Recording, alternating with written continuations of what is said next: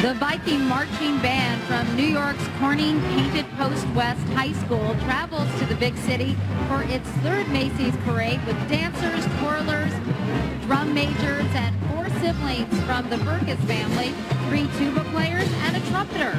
Director David Carlson is ready to strike up the band in a performance dedicated to West High staff and family members currently serving over in Iraq.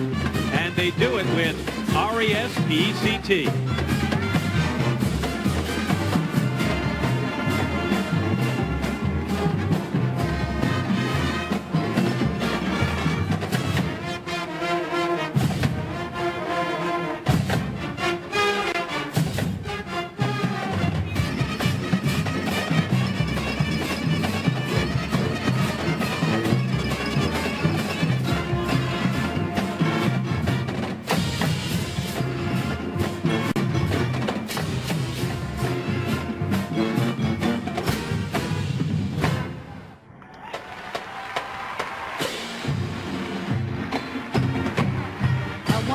Tribute to the hometown folks back in Painted Post, New York.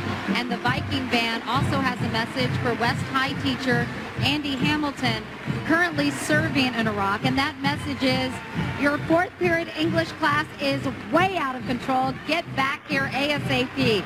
We second that. Wish all our troops a safe journey home.